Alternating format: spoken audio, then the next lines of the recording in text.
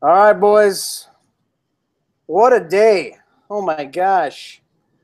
It was the biggest day I can remember on the dojo. I don't think we've ever had a bigger day on the dojo. We had so much fun. Uh, obviously, what I'm talking about is the uh, release of this right here the Whiskey Rebellion. This bad boy, we, we started work on this project a year ago when uh, Skip came to me in uh, New Orleans and said he had a great idea for a cigar to do, and he wanted to do it with us. And we couldn't have been more excited about doing it with Skip because we love all, all the RoMa Craft stuff. And so finally, after a year of work, these things take time. If you want to do something good, these things take time. And today was the big day. And so we had uh, 500 boxes of these guys, and some got held back for the show tonight. Uh, there's a event in uh, famous there in Pennsylvania. And so, uh, but other than that, other than a few they held back for the show, we sold the entire amount in 64 minutes. And it was wild and woolly and fun. We had a great time. And so, uh, so tonight we thought, hey, let's bring Skip on the show. We'll talk about this project. We'll talk about uh, the cigar. We'll talk about the Whiskey Rebellion, what it all means, why it's named that, a little bit about everything. And then maybe we'll talk about just some cigar stuff that's coming up uh, with RoMa Craft and with just cigar, the cigar biz in general. So, uh, so it should be a fun show. We normally don't do Thursday nights, but since the uh, release was today, we thought it would be apropos to uh, have the show tonight. So that's what we're to do. And hey, guys, contest is going great. Uh, hashtag Rebel. So uh, you just post on the dojo what you would do to fight for your rights as if you were a rebel. And uh, we're going to pick the winners on Saturday. So you can post your entries all through tonight. We're going to share some entries tonight. We're not going to pick any winners, but we're going to share some entries tonight. And and then uh, you continue to post them for, through tonight, through tomorrow, and then later in the show, I'll show you what you guys are going to win because we have some cool prizes to give away to you guys. But without further ado, let's bring on the man of the hour, our good buddy Skip Martin from RoMa Craft. Skip, welcome to Smoke Night Live, my friends. How you doing, man? Good, man. So uh, Skip's in Nicaragua as he normally is, and uh, so hey, it was a crazy day today. Uh, from your perspective, uh, how did you feel that all went down, and what was it like watching the numbers come in and seeing seeing your your baby just blow out like that? well, it was a normal day for me. I mean, I'm, I'm I was in the factory getting ready for the trade show. We this the the drama around this project for me was about three weeks ago when we didn't think we were going to get boxes. So. Um, yeah, so you know, I, I took a break for lunch and saw that uh, that it had already sold out. So, you know, it's always good to, uh, you know, we do we do we do pretty good. So it's it's always good to see a project sell.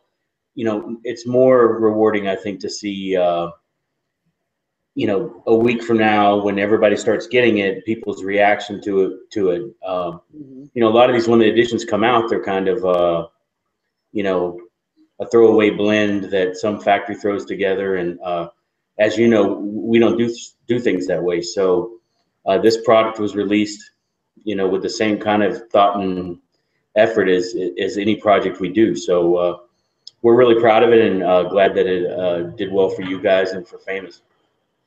Yeah, you know, uh, you make a good point, Skip. Um, there's a lot of these sort of projects that float around like this, and but this, the ones that we try to do, the ones that we do, we don't just throw them out as quick as we can. We try to come up with with really cool things. And when you came to us a year ago in New Orleans with this idea about Whiskey Rebellion, I was blown away because not only am I a big cigar guy, but I'm a big whiskey guy, as you know, and so are you.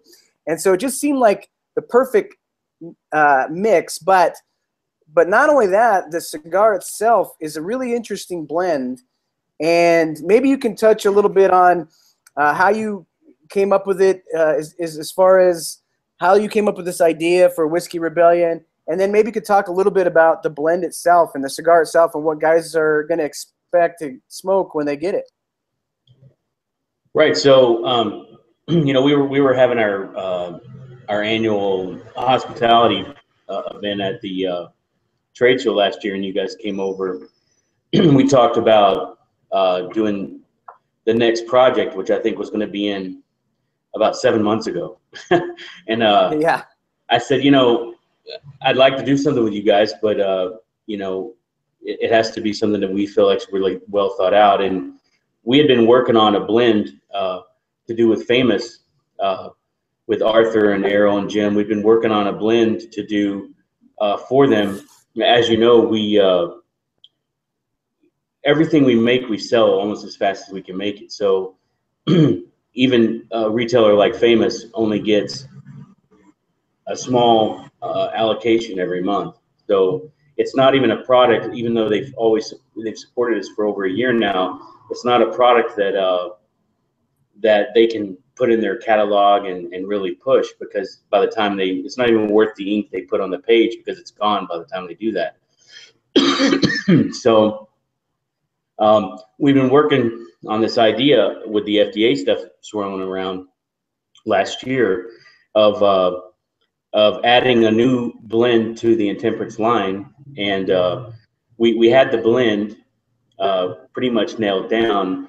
And the idea was is that we would extend beyond the kind of temperance and temperance prohibition era kind of idea to the idea of excise taxes and uh, and uh, you know the way the government kind of treats um, tobacco and alcohol and uh, those kinds of things. So it just seemed like a really good fit to uh, you know to launch this size this uh, project with with Dojo. So we worked on it for um, maybe three or four months. Uh, you helped a lot with the art, which comes directly from from the uh, from the Whiskey Rebellion flag, and so we. Uh, um, I don't know. We're really proud of it, and uh, you know, I'm you know the fact that it sold out so fast. We probably have more kind of negative about the from the people who you know who didn't get it. So yeah, you know, Skip, when you when people look at cigars that come out, I mean, there's a million cigars come out all the time,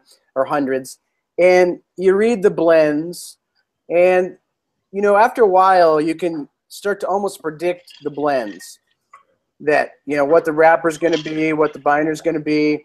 It's almost like mix and match.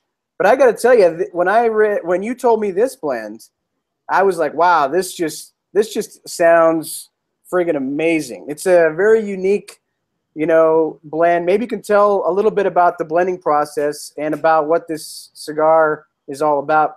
You know, uh, as far as the wrapper, binder, filler. Right. So Intemperance has um, a temperance has two uh, wrapper or kind of two lines. The EC uh, or the BA uh, 18.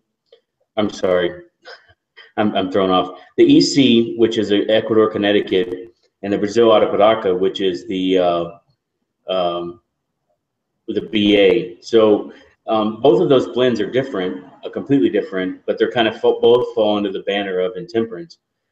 Uh, when we started working on this blend, um, Ecuador Habano is a, is a, the Ecuador Habano special editions that we've been doing for Aquitaine have always been very uh, popular, but they're they're a little stronger. They're probably one of the strongest cigars that we make, so they're not really approachable by a lot of people. And Ecuador Habano is is a much more uh, available wrapper than uh, say, uh, Connecticut, Arapiraca, or broadleaf. So we we are able to buy a lot of that for our Aquitaine line, but we yield out some of that that is a little bit thinner and, and a little bit lighter in color than what we use for the Aquitaine. So when we when we buy 7,000, 8,000 pounds, we, we were always yielding about two, 400 pounds of, of the lighter leaf that didn't really work for Aquitaine. So when we started working on the new intemperance, uh, we it was a little bit different than most everything we do, which is we normally blend from the inside out, meaning we normally blend from the filler and then we go to the binder and wrapper. And in this case, we kind of started with the wrapper. Mm. So we knew we were going to use Ecuador Habano. We, we kind of set to, set that to the side and then started working on the, the filler elements. uh, around things that uh, they're a little bit harder to get than the normal normal Intemperance uh, fillers, um, but they're uh, probably half of it is byproducts of things we already use in the factory. Either tobacco that's a little thicker and stronger than what we normally use, or tobacco that's a little thinner uh, than what we normally use. I mean, as you know, when you buy Ligero, you get a little bit of Viso. When you buy Viso, you get a little bit of Ligero. Um, when you buy uh, wrapper, sometimes you get a little bit of binder. So um, we had this blend uh, probably about a year ago, and well, we don't talk a lot about the the the elements of the blend so much. Uh, you know, this is Ecuador Habano, and it has tobaccos from uh, three or four different countries, and uh, it's you know it's just a pleasant it's a good cigar. It actually has a lot more transitions and flavors than than uh, a lot of our products have. Um, you know what we generally have in our portfolio is things that taste uh, one way and they don't change a lot. This one has a little more transitions to it. So and it's a little more in the medium range than than a fuller body stuff that we make. So um, you know i started sticking these in my box here and uh, you know, when I keep going back to them again and again and again in different sizes, I, I know that it's a it's a really good blend because you know obviously I can choose from a bunch of different cigars to smoke, and this is one that I've been smoking more and more. So we're really now, you know, for me, yeah, I I you know with a name like Whiskey Rebellion, the cigar has to go good with whiskey. And you know this cigar goes brilliantly with whiskey. Is there a thought in your mind when you're doing this uh, you know, that you want to make it pair well with bourbon kind of thing since it has that name in it, or is that come to your mind at all? Or I mean, in, in my mind, almost all cigars pair well with coffee and whiskey. and so yeah. and, and water so you know that's just the nature of tobacco um, particularly the cigars that we make uh, so i mean maybe our ecuador connecticut is better with coffee and our cro-magnon is kind of better with bourbon but um, I think this is a this is a cigar that uh, you know you could probably enjoy any any point in the day, and pretty much with anything to drink, whether it's rum or whiskey or whatever. The whiskey rebellion piece of it is really more about the the politics and the history behind it and how it ties into the intemperance brand. Sure. But at the same time, I think you might have hit on something that really goes well with with bourbon because right now I'm sitting here drinking this uh, fantastic George T. Stagg with my Whiskey Rebellion, and it's absolutely perfect. And I know you had some some Booker's down there, and that's one of my favorites too. In fact, when we met in New Orleans, uh, the funny thing was we walk in and we look on the table, and it's just loaded with craft beer and bourbon, and uh, it was like, wow, this is. I'm, I know me and Skip are going to get along because this dude likes the same stuff that we do, man. yeah, I mean, particularly craft beer. I mean, here in here in Nicaragua, I smoke more rum than anything, just because good whiskey is hard to get. Um, sure. When I, when I'm in the states nowadays, I smoke, I drink more uh, craft beer than anything because you can't get good craft beer here in Nicaragua. Um, whiskey, uh, I don't smoke drink as much anymore because uh, you know my doctors told me to cut back, and you know drinking 130 proof Booker's is probably not doesn't fall under cutting back, but um, but but I had this bottle of 25 year Booker's that my friend gave me, and uh, I figured this was as good of a chance as any. But I, I, I poured two fingers, and I've been milking it for about an hour, so I'm not the I'm not the man I used to be, I guess.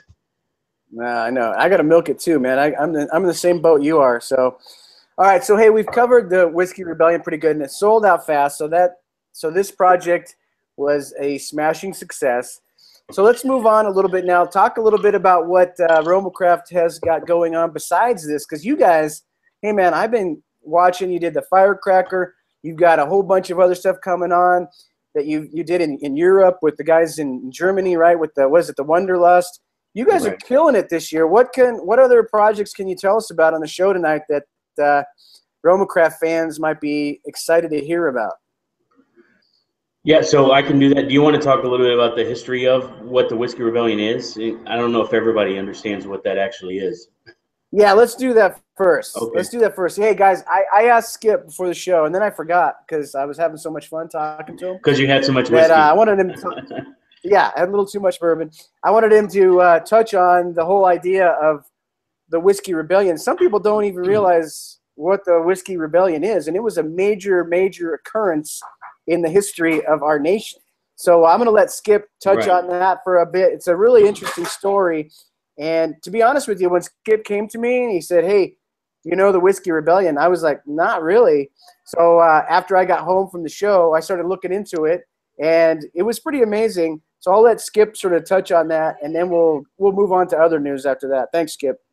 Yeah. So the the whiskey rebellion uh, is it refers to a rebellion that happened in the United States, and pretty close after the uh, the War of Independence. So it, it, actually ran from 1791 to 1794 when it was uh, quashed or squashed, I should say, by uh, by the federal uh, by the military. So George Washington. Right. So after um, after the the War of Independence and then and then uh, the French Indian War. There, were I don't actually I don't know when the French Indian War was. I think it was there was a war debt, and I I think it was more than just the War of Independence, but there was a war debt between the federal government and the states uh, that in today's dollar was was more than six trillion dollars. So they what they did was is the federal government assumed all of the uh, debt from the states and and combined it all into one large federal debt of, of about six trillion dollars. In the in those days, it was somewhere around, uh, I don't know, seventy-five million dollars. But in today's dollars, it's about uh, six trillion. So um, this happened uh, when this when this combination of all the federal debt happened. Um, ha- Alexander Hamilton, which was the uh, Secretary of the Treasury, uh, the founder of the Federal Reserve, founder of the central bank, a federal founder of the currency, uh, soon to be replaced by Harriet Tubman on the twenty dollar bill.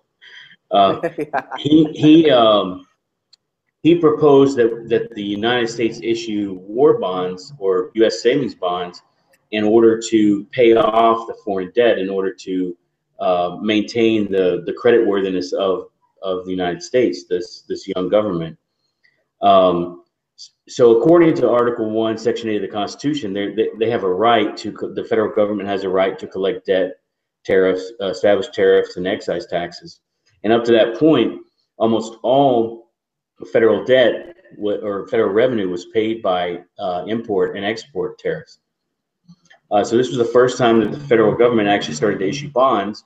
Uh, not uh, coincidentally, the uh, most of the rich people in the country at that time started to buy these bonds at less than face value and in order to kind of profiteer on this this event so uh, the at that point in order to start getting revenues in order to pay off and to make sure these bonds were legitimate to pay off these bonds for people who wanted to cash them in also to kind of line their own pockets um, the uh, hamilton uh, got the Congress to uh, push the what they called the Whiskey Act in 17 March of 1791. And what the Whiskey Act did was it put a an excise tax on uh, barrels of whiskey.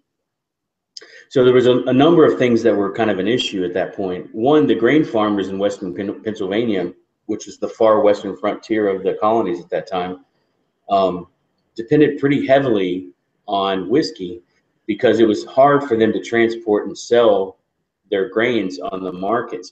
But it was a lot more uh, efficient for them to actually make whiskey from their grains and then sell the whiskey. So it particularly hit this part of Western Pennsylvania more than it hit other parts. Moreover, the uh, these small farmers were um, that depended really heavily on whiskey for barter and as almost as a form of currency almost almost their entire revenue, um, were in direct competition with large whiskey distillers in other parts of the colonies, or at this point in other states. So um, when they proposed this tax, it was originally proposed as a flat charge or as a a, percent, uh, a cost per, per gallon. And so, because of the way that they worded the uh, the law, just like the way they word laws today, it affects smaller producers a lot more disproportionately than it affected large producers the smaller producers were actually paying 50 to 75 percent more tax. So these small farmers that were concentrated in Western Pennsylvania um, just said, "Screw you, we're not paying the tax." so, so um, the uh, the early kind of treasury agents, uh, the tax collectors, started to come to these regions and file lawsuits, and the local courts in these areas refused to force the farmers to pay these taxes. So there was this kind of uh, civil uh, resistance to uh, actually paying the taxes that was supported by the local governments. And this is one of the first times that these kind of local state versus federal issues started to come up.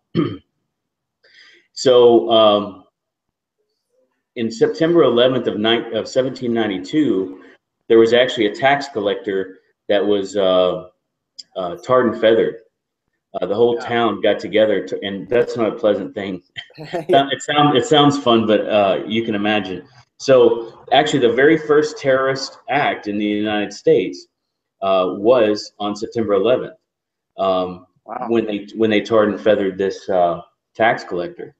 Yeah, folks, so, just think about that for a second. Like nowadays, Skip, you know, when you're in trouble with the IRS, you might get a lawyer involved. You know, you get all your documents together and try to figure it all out. But back then, man, they just tarred and feathered the guy. It was a whole different world, right.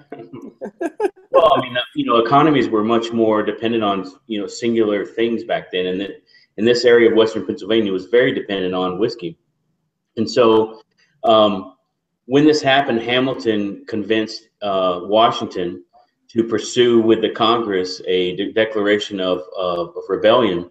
So the, the actually the Supreme Court uh, issued a writ that said that there was actually an official rebellion that was occurring in Western Pennsylvania. So another first, um, it was the very first time they conscripted or drafted uh, members from the other states to join a, an army. Um, the army actually was about 14,000 soldiers, and it was larger than any army that Washington had actually led during the War of Independence. So Washington, again, another first, the first sitting president, got on his horse in the front of this army and went to Western Pennsylvania. Uh, wow. I can't imagine. I can't imagine uh, Hillary or, or Obama or uh, or George Bush actually getting on a, a horse in the front of an army. But um, when they went to Western Pennsylvania, uh, I can was, imagine. I can kind of imagine Ronald Reagan doing that. I can kind of imagine maybe. Ronald Reagan doing. It. Yeah. Yeah, I mean, he had he had the horse for sure.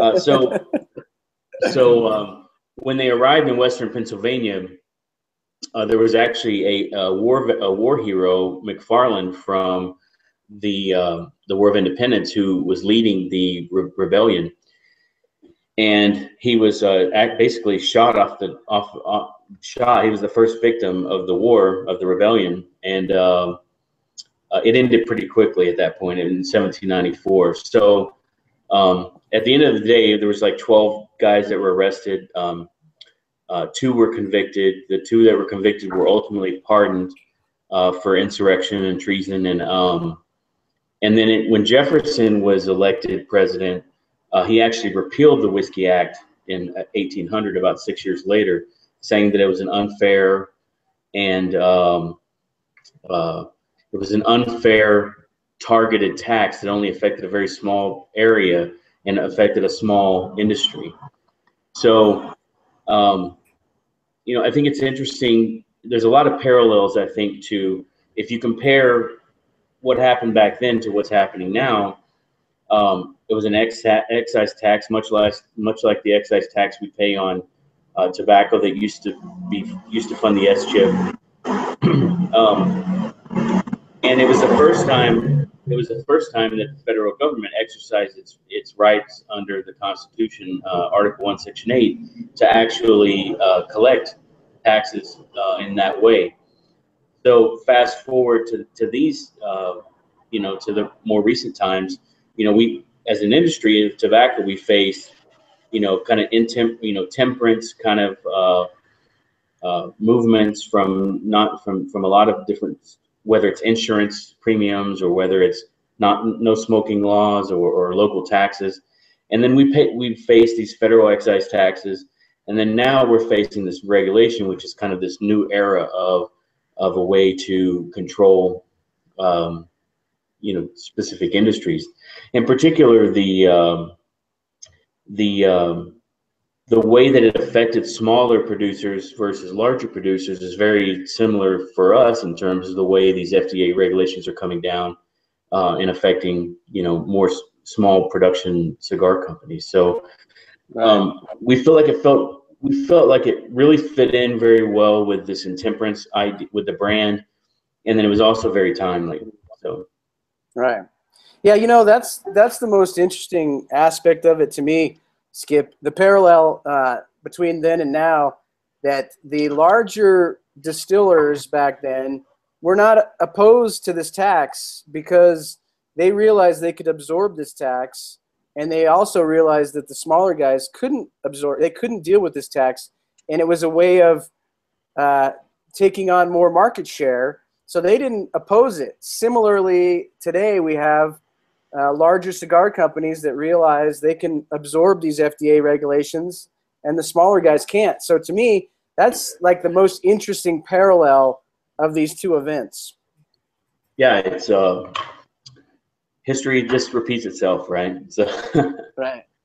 Yeah, exactly. But either way, either way, it has you know at the end of the day, it's just a good cigar, but it, it has uh it has a little bit deeper meaning, and um, um, so you know we try to do that with our brands to you know to have them where once you get kind of engaged with the with the cigar, you can learn a little bit more, and then um, you know obviously it's just like smoking cigars is a little bit deeper than just you know it's a community, it's a subculture, so Right. that's that's why it's uh that's why we went with that. Yeah. Yeah, I dig that story. I mean, uh, that's something that I don't think I don't remember in school ever hearing that story. Now, maybe I was just not paying attention, which is very possible. But uh, I don't remember. I don't remember hearing that story in high school. We were in school a long time ago. yeah. it's been a while. We've we've we've uh, had a few uh, whiskeys since then. Exactly. So, folks, if you're watching the show right now and you have a question for Skip, post it on the dojo with hashtag Ask Dojo. And I already have some good questions. We're going to get to those here in a second. But before we do uh, get to those, uh, Skip, maybe you can talk about the upcoming show, what uh, RoMa Craft has coming up, any any exciting news or anything you can tell RoMa Craft fans about what you guys have uh, coming through the pipeline. Yeah, so you know, as a company, we don't do a lot of new releases. Um, you know, we have our our core brands. Our core brands are Intemperance, which now has these three branches underneath it: uh, Ecuador, Connecticut, Brazil, Arapiraca, and Whiskey Rebellion. Whiskey Rebellion being the first uh, big expand, you know, big line that we've done in a while. Uh, we have Cro-Magnon, which has Cro-Magnon and Cro-Magnon Aquitaine, and then we have Neanderthal, um, which is currently in the core line one one size, and then um, for Europe we produce a, a cigar uh, called Wunderlust, um, and uh, so those are our four brands. Um, and so in in five years, you know, in the first year we produced Intemperance in both wrappers and Cro-Magnon both wrappers. It took us two and a half, three years to do Neanderthal, and then with this third, you know, with Whiskey Rebellion, it's the first, you know, kind of real new thing we've added in a while. Um, we have done sizes underneath those those brands, um, you know, that we produce in limited numbers. We when we produce something, we generally produce it in in in in a, a cycle where it's continuously produced in batches. Um, there are a few cigars, uh, very few. Uh, one example is the Firecracker we released on July 4th, Mm-hmm. and then and then the Whiskey Rebellion, which is is being released on the seventh, uh, which is the uh, the anniversary of the Whiskey Rebellion. So those those two are cigars that probably that won't ever be made again. One was made for two guys, and one was made for you. Um, as a factory, um, we do have some new things coming out.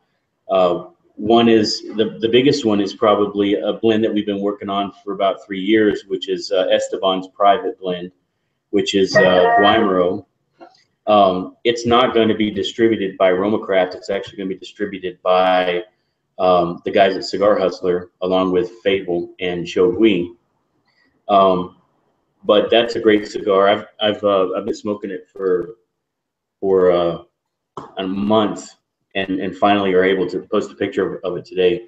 So that's been in the pipeline for more than uh, way more than a year. So that one is is actually launching at this show because of the deadline. We're doing it a little bit earlier. Um, and then we have our fifth anniversary cigar coming out, which is just a Cro-Magnon cigar. It's a special size of Cro-Magnon that's coming in a in a uh, a package that we did with Xikar to celebrate our fifth anniversary. Um, it's a package called the Monolith that has a lighter, a, a bottle opener, a, a, cutter, tin of the anniversary cigar, and a and an ash can, and then the the, uh, the uh, box that that it comes in, uh, like a travel humidor. So that that fifth anniversary thing looks amazing. I saw you post a picture on Facebook, and it looks awesome, man. Yeah, everything in there, whether it's the box or the cutter or the everything in there is either something that's never been released by Xikar or something that's never been released in that um, finish.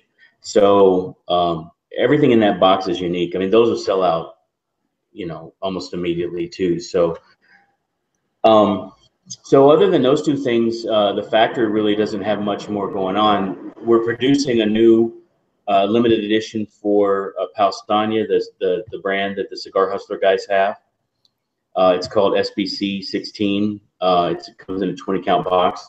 And then we're releasing uh, a new version of the Fable called Nightshade. It's uh, uh, it's their second line. It'll be their last line probably.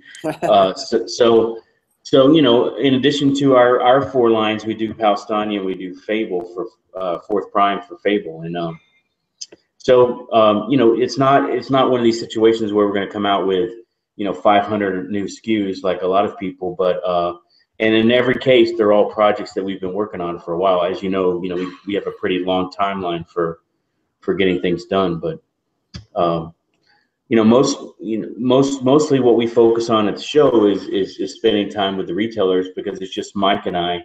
We don't sure. really get a chance to, uh, to to kind of touch base with all of our retailers, uh, and this gives us the opportunity to do that once a year. So this is uh, that's really what we focus on. We don't really we're not a new product release driven company. We we really focus on curating and and and keeping the consistency and quality and uh, value on the existing blends that we have.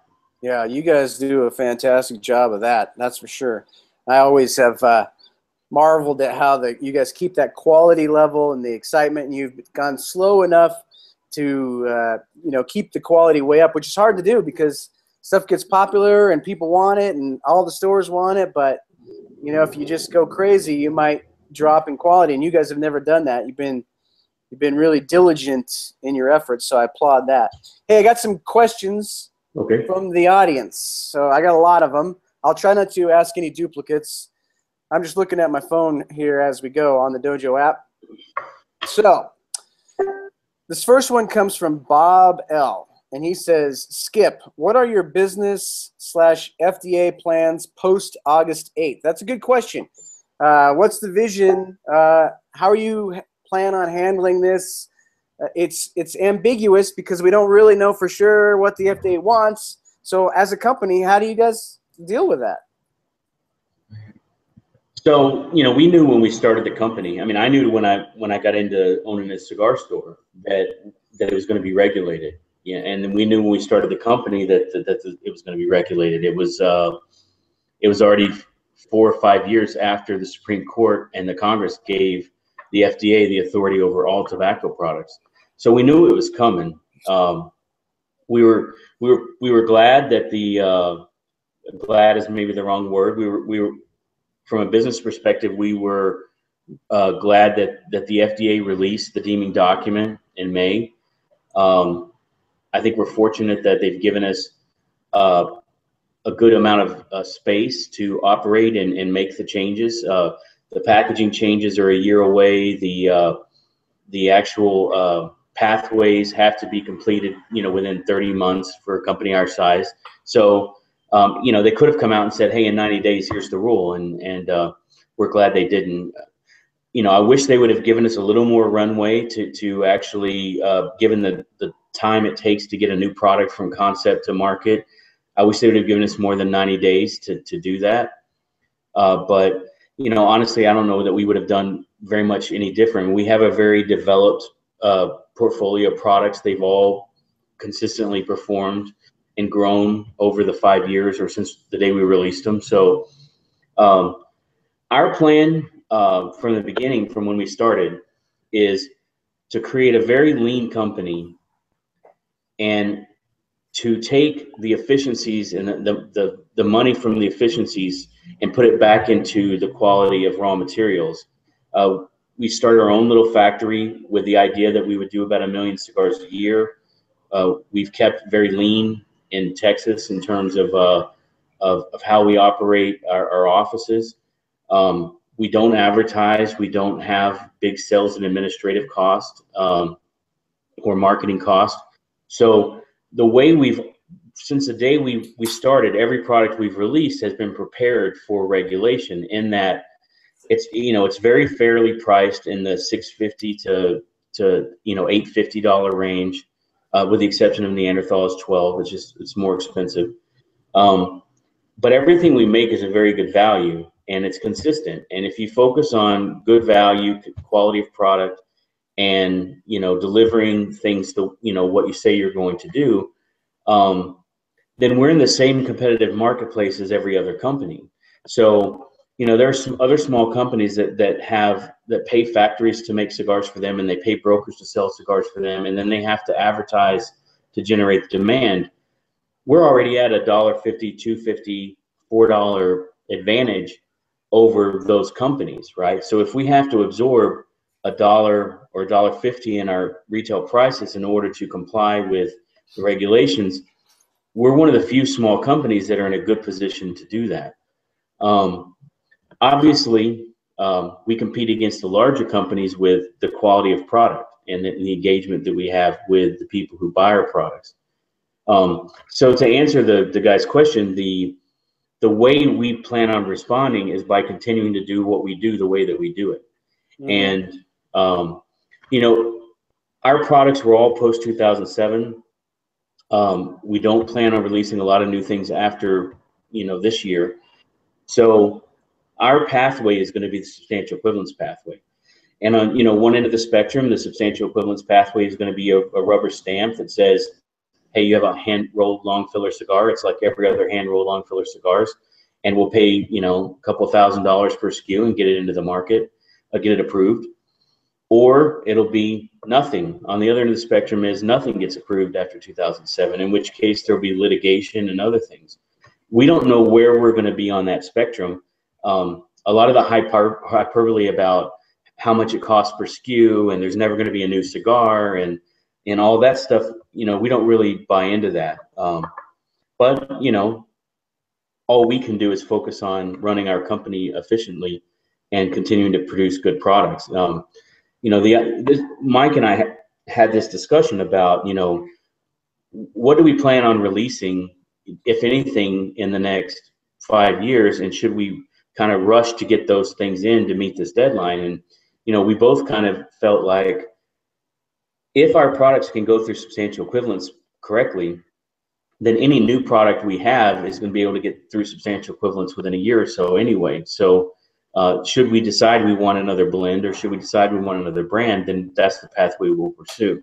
Mm-hmm. If if it exists, if it's true that the FDA has no intention of ever approving any new products, then um, we're going to be out of business in three and a half years anyway. So um, just keep doing things the way we do it and, until we can't do it that way anymore. So, and then we'll and then we'll just sell cigars in Europe and and you know people who want to buy our product can order from retailers in Europe or wherever, you know, just like they do Cuban cigars. So and and then Skip, you know what it is is the RoMa Craft uh, bourbon line. That's where it comes in then. well, you know, Mike and I have talked about doing a craft beer brewery in, in Texas, and um, I think we both kind of decided that uh, it's just cheaper for us to buy the best beer in the world and try to figure out how to make it, make it ourselves. Yeah. So. Not only that, but the government is after craft breweries too because they want to implement uh, the detailed calorie count on every release, which would be equally burdensome for uh, craft breweries. So All right, here, good, good answer. Uh, this one comes. Next question comes from uh, Misal. I hope I pronounced that right. Misial D. He wants to know, Skip. Besides the cigar that you make, what other small boutique cigar brands do you like to smoke and enjoy? Uh, which brands are you particularly excited about at the IPCPR? Before you answer, uh, if any of you guys follow Skip on Facebook, you'll know that Skip is very open about smoking other brands. I see you smoking Tatuaje. I see you, you were at the Drew Estate Barn Smoker. Uh, you like a whole bunch of stuff. Your palate is wide, and you're not afraid to smoke whatever is on your desk in any given day, right? Yeah, and uh, particularly if they're free, right? yeah, you weasel. I'm, I'm, a, I'm the king weasel. So, um, I mean, obviously, I was a cigar smoker long before I was a retailer, and I was a, and I had lots of brands that I lo- loved and supported as a retailer and as a customer. Um, that really hasn't changed. I mean, I smoke. You know, I I still there there are times when I go into a humidor that has five or six hundred things and I still find myself buying my own product at full retail just because in that particular humidor, it's what I wanted at that moment. Um, but you know, I, I, do smoke things from a lot of other people. I mean, companies like La Flor Dominicana is probably my favorite, uh, you know, cigar maker. Um, I, I, get a chance here in Nicaragua, in particular. Uh, I mean, so when I'm in the states, if I buy things from other people, it's generally a Padron that I don't generally get to smoke, or it's a Davidoff that I that I haven't seen, or or that I don't get to smoke on a regular basis, or it's a a La Flor that I don't get to smoke on a regular basis. Uh, but here in Nicaragua, I'm pretty fortunate to, you know, we have good relationships with with a lot of the other factories, and you know, w- whenever I go to another factory, whether it's to buy tobacco or just to visit, I generally try to weasel a couple of cigars. um, but you know, the the um, in terms of all the things that are coming out at the show, um, AJ Fernandez, and and I can't say that I love everything AJ makes, but AJ makes some things that I really do like, and um, you know, everything's not made for me, so that's perfectly fine. That that I'm not in love with everything that he makes one thing that AJ has become is is a very uh, broad and deep tobacco uh, guy. He does a lot of pre-industry, grows his own. He acquires a lot of different kinds of tobaccos, and um, more so, I think, than a lot of factories. Uh, so we buy tobacco from AJ, and w- there's some stuff he won't sell us because it's it's his, and uh, that generally piques my interest. And last year, um, or I guess earlier this year at the uh, Nicaragua Cigar Festival, he gave us a cigar that was one of the best cigars I've ever smoked, probably in the top top ten. And then um, I believe that that blend is the Bellas Artes that he's coming out with, and and I really believe it. it ha- it's one of these cigars that probably early. If I had to put odds on what the cigar of the year is going to be, uh, this is this is probably one of those. So, wow uh, it was it's very very good. I can't I can't. There's nothing else I could say about it. It's it's great. So um, we were smoking. We were smoking a AJ uh, made cigar tonight. Jordan, what was that? We're reviewing it. What is it? The what? The La Gran Llave. We were smoking that earlier, made by AJ, and it was outstanding. So that was yeah. a good cigar. Yeah, he's got great tobacco, but this this particular one is one that's. Um, it has a lot of unique tobaccos in it, and it and uh, it's probably the best thing I've ever smoked. You know, in Nicaragua, so it's it's great. Oh, we'll look for that one. I would look for that one. All right, this next question is from Nick L. He says, "Where can we get Roma Craft swag like the hat M me like the hat I'm wearing? I don't see the store on the website. So first of all, before Skip answers, you can win these hats we're giving away some of these hats in this contest. So make sure you enter the contest. We got some shirts too. So enter that contest. But Skip, what if a guy wants one of these hats? How do they get a hold of one of these cool hats? So hats and t-shirts and those things are a huge pain in the ass. yeah. Mike and I both almost always respond, "Hey, we make cigars, not shirts and hats." yeah. um, you know, I used to have a shop called Have a Cigar, which later became an online, which is where we launched Cro-Magnon and then um, Angela in our office ran that for for two years, and then decided she didn't want to do it anymore. So um, we're looking at options for opening up a RoMa Craft store to sell, uh, you know, bottle openers from Xikar, cutters from Xikar, um, uh, branded things like shirts and hats, uh, you know, Bluetooth speaker made out of cigar boxes, those kinds of things. I mean, our office is full of those kinds of things. So you know, we've just been so focused on making cigars, we haven't really had time to do that. So um, it's coming uh, where where it'll be a lot easier to buy these things, but until you can buy them, you really have to kind of just up your weasel game. yeah, you got to weasel it. So, uh, all right, this next question comes from Mr. Gold. He says, um, "Any plans to release a sampler box of all of your blends in one?" So uh, is there a way guys can get a bunch of the different blends all in one sampler so they can try the different blends? Uh, do you have that available or is that part of the plans or no? Yeah, I mean, we've done what we call the catadors over the years. We've done a Robusto, Panatellas, uh, Lonsdales, um, Perfectos, uh, the, the 56 grand Robustos, so the Petite Robustos. We've done those over the years, but uh, probably, sadly, that's one of the things that'll go to the side when the you know after August 8th. Uh, so you'll probably have, just have to go to a retailer that carries our stuff and then put your own sampler together. There we go. All right, this one comes from uh, somebody named Cigar Coop. You may have heard of him. He says uh, why, he wants to know why. I, I, heard I heard this guy. Sorry, I heard this guy's never amazed by, yeah. the, the, stuff you do. yeah, I like busting Coop's chops. Right. Um, he says he wants to know why is Whataburger the best fast food hamburger in existence? You know, I, I, think fast food is an important piece of that uh, phrase. Um, if you know how to order it correctly, I think it, it's superior to most every other fast food hamburger place. I mean, there's a lot of these little kitschy, you know, uh, fancy California kind of small places that are really good. Um, Ooh, this.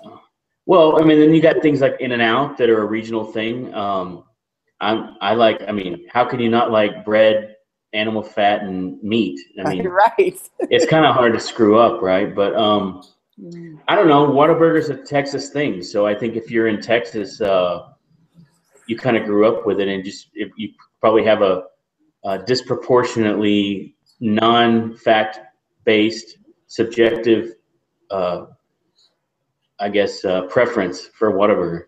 Okay. yeah, I like Whataburger. I've had Whataburger. I've had In and Out. They're both good, and both of those can be bad. Also, if you go to the wrong, if you go to the wrong store, they I've had bad Whataburger and I've had bad In and Out, but they're both good. Also, if you go to the right one. So my yeah, my, my my insider secret for Whataburger is always go for the Whataburger Junior double instead of the Whataburger because for some reason in the smaller patties they they uh, taste better. So get the double Whataburger Junior, double meat, double cheese, and then skip everything except for maybe mustard, mayonnaise, jalapenos, and onions, right? And then you you be in good shape. Simple, simpler is better when it comes to Whataburger, I think. Uh, you heard it. You heard it here first on Smoke Night Live. That's how to order at Whataburger. All right. Um, this next question comes from Jerry G. I'll just try to get to the next. Let's let's just do two more. Uh, Jerry G wants. This is a good question. Jerry G wants to know if you could only smoke one Roma Craft cigar every day. Say you were stuck on an island, what would it be and why?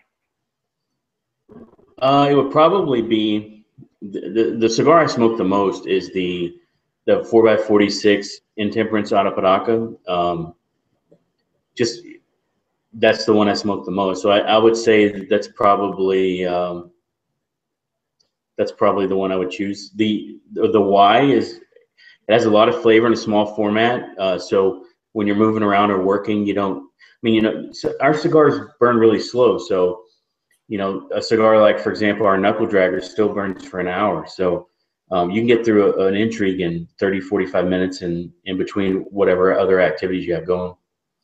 I'll answer that one too. And it, w- it would be, it's unfair of me just to say the Whiskey Rebellion because that would be my answer. So let's just, I'll just move the Whiskey Rebellion out of the picture for a second. And uh, I had the Revenge, and uh, it seemed like the Intemperance Revenge. Uh, that was a store exclusive for. Uh, let me try to remember. Doc James, is that right? Doc James. No, the Revenge is it's one of those limited ones we make, and um, it, I think it was Owl Ear and uh, a cigar, a cigar, a, sh- a shop in uh, Carolina. But you know, we've moved almost all of these special sizes to. You know, we make a hundred boxes every two or three months, and then when they come in, whoever orders and gets them. So, Okay. uh, in in that box press, in that blend, it's a it's a great cigar. Oh yeah. For some reason, I don't know why, but for some reason that box press size just really hit my sweet spot, and I love that cigar, man. I could I could smoke that every day for the rest of my life, and be a happy camper. Okay, last question from the dojo community. I've got about eight more, but I got we got to wrap this up. So uh, this one comes from Kentucky Colonel, and this is an interesting question, Skip. He says, uh, "Do the memories of cigars you have smoked in the past play a part in developing the the new blends that you make? In other words, are you building on new blends, or do you just start from scratch each time?" Well, I mean, I think you start from scratch in the sense that um, you don't really know what the makeup was of, of the other blends, and and you know, certainly, I can tell you every cigar that we make is either something that I didn't come up with, or it came from something that I had smoked before. Like our Brazil Arapiraca blend really came from a, a kind of a, a bunch of events, but but really what I liked about it the most was, uh, or what I kind of started from from my only experience with Arapiraca was the Torano 50 year, uh, 1959 50 years, which was the only Brazil Arapiraca cigar that I knew, uh, other than a CAO one that it was one that I really really liked. So um, the Connecticut was something that Estevan completely came up with on his own. The uh, Cro-Magnon came from from a cigar that I used to sell that I would get from Camacho. The Aquitaine was kind of uh, a little bit of a different version that, that was kind of more inspired by maybe the Joya Antaño uh, Dark Corojo. Mm. Um, the uh, Neanderthal pretty much was almost completely inspired by trying to get something like the original Antaño or the uh, La Flor Double Ligero. Um, the Wunderlust uh, came from some cigars that I smoked while I was in Europe from the Schuster family. Um, so yeah, I mean, I think you're influenced by tobacco, um, and you know, everything we make is we make stuff that we like, and then you know we smoke as much as we can, and then you know we sell what's left over. So, Right. um, but yeah, of course, it's all inspired. There's nothing. There's you know, I didn't. I didn't. Co- my grandfather was not a, a tobacco plant. I didn't come from three generations of cigar makers. um, you know, I, you know, I'm not Cuban. I'm not Latin. So, uh, you know, we just come from a place where we're just cigar smokers. And then, you know, the more I've learned about tobacco, the more I've been able to translate my passion for what I like to smoke into something that you can produce and sell at a fair price and make the same way again and again and again. Yeah. You know, like uh, some people always ask the question, like, uh, you know, will will there ever be a time when every melody for a song is already completed? And it doesn't seem like that's the case. There's out, there's an infinite amount of melodies for songs. Is there an Yeah. infinite amount of melodies for cigars? I don't know. I don't think so. I think to you know there, there's no tobacco from Mars, right? I mean, all all the tobacco comes from a very small group of of of a limited number of the tobacco genus, you know, that can actually be made into long filler cigars. Um, you know, the more prosperous that, you know, we're just, I guess we're pretty lucky that it just so happens that the places where tobacco grows the best are also places that are not very economically developed. Hmm. And and I don't say that in a negative way. I mean, I, you know, if if Nicaragua became as successful as the United States, if the Dominican became as successful as the United States, um, I would be really happy for the people of those countries. But making cigars there probably wouldn't be possible anymore. So uh, at least not the way we make them now. So Right. it's just a weird thing where these you know equatorial kind of uh, countries that are that grow in this range uh, of latitude where tobacco grows really well um, just also so happen to be places where you can make cigars in a co- cost effective way uh, and grow tobacco uh, in a cost effective way uh, you, you know they the importance to the economy in Nicaragua of tobacco exceeds the political correctness of growing tobacco as a crop. So, um, in that way, we're really lucky that, uh, you know, I wonder if the Spanish had never been in Cuba, uh, if they would have developed the tobacco industry there, and if and if Cuba hadn't had the political problems it had, if we would have ever really developed the tobacco industry in Nicaragua, uh, uh, we wouldn't have probably. We probably would all still be smoking Cuban cigars. And I think uh, tobacco has a long history that is very tied into a lot of things that happen uh, have, have happened in the last four or five hundred years. And um, I think it'd be a real shame if uh, if things in in the in the regulations in the United States uh, change, you know, became the next inflection point in the history of tobacco. Yeah. All right. So, uh, Dojo, I hope you enjoyed the show. Before we go, uh, we have this contest going on, and the contest is how do you fight for your rights? And so the hashtag is hashtag rebel, and we've got a lot of good entries. We're not going to pick any winners tonight, but I wanted to show just a few good entries to give you, give you guys a flavor for what's going on. So uh, we're going to go through uh, six or eight entries real quick and I'll show you guys and I'll show Skip. And uh, you can enter this contest all the way through tomorrow night. We'll be giving away these cool hats.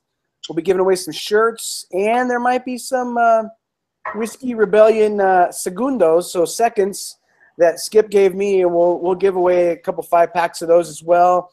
Uh, there's a cool ashtray in here. Uh, we got some awesome prizes, so just keep entering until tomorrow night.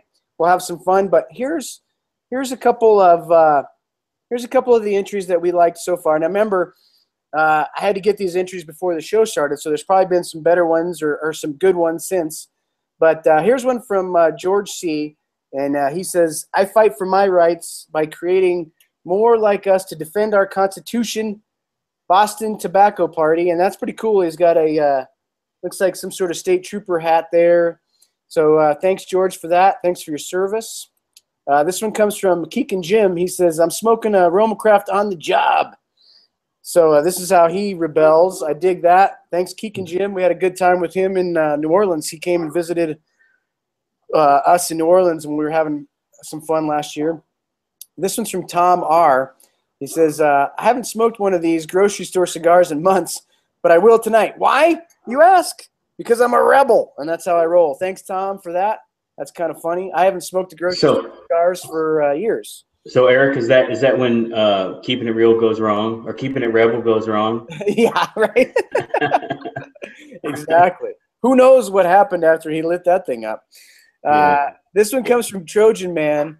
He says, uh, "We must all rebel." So he's got uh, James Dean there on a motorcycle. That's pretty cool. He's got Roma Craft in there. He's got a Whiskey Rebellion box in there. Save the Leaf logo in there and a Dojo logo. That's pretty cool. Thanks, Trojan Man. This one comes from Twisted Hops. He says, uh, I fight for my rights by rolling and smoking my own handcrafted cigar. Good for you, brother. That's awesome, man. What do you think about that, Skip? A dude just rolling his own stuff. That's cool. That's a lot of work, man. But good. I think if you become the best in the world at doing that, you can make about four hundred dollars a month, oh, good job, brother. or or you could save about four hundred dollars a month. I guess Yeah, could look at it right. That way. This one comes from Mawate. He says, I swear I thought it was an FDA building. That's pretty good. Uh, good job, Wate. Thanks for that entry. This one comes from Bradford from Tampa. He says, I'm a loner, Dottie, a rebel. He's got the cigar in Pee Wee's mouth. And not to be outdone, The Pee Wee meme, you don't see those often. we have a battle of the Pee Wees here because uh, a huge nerd also had that same idea except he put his face on there. That's also funny. Thanks, brother. A huge nerd. Uh, this one comes from. We have a couple from Donald. Uh, this one's uh, with a rebel yell. She cried, "Do Joe Do" or "Joe Joe Joe," something like that. Thanks, Donald. That's funny. Billy Idol there. Uh, this is also from Donald. You got to fight for your right. There's uh, the uh, The Beastie Boys. the Beastie Boys, except for it's Jordan, me, and Jack on there. That's hilarious. And he's Nice. got he's got the flag in the background. We don't know who made that flag, do we? Do we do we know who made that flag? Some West Western Pennsylvania farmer, I Yeah. assume, or his wife, more likely. That's a sweet flag. So cool. All right, and then we got uh, Fire B says he's a real rebel. He says I left the seat up, smoking in the house, and pairing with a Bud Light because I'm the king of the castle. Oh, here come here she comes. Be cool. so uh, he got he got no fucks. That's no fucks given. He's got he's got an ashtray in his bathroom. Right, exactly. and this this one, I think this is the last one. This is from Chris F. He says, "I'd smuggle as many cigars as I could." He's got the X-ray going there. So uh, thanks, guys, for that. I'd probably keep I'd probably keep him in a cello in that situation. Yeah, right. yeah, yeah, yeah. Sell that for sure. So, uh, so keep those keep those entries coming, guys, and uh, those are hilarious. Like I said, we'll pick the winners. Jordan on Saturday.